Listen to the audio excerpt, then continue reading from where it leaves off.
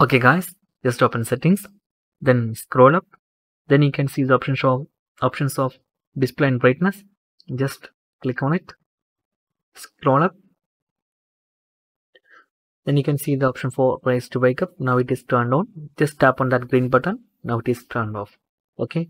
Now you take up your mobile. Your mobile not uh, came to life. You must uh, press uh, your power button otherwise tap on the screen to turn on. That's it. Okay guys if you need any kind of android or iphone pc or mac tutorial. Just comment below. I will post your replays as videos. Okay? If you enjoyed this video please like comment subscribe and share with your friends. Thank you so much for watching. Have a nice day. Bye bye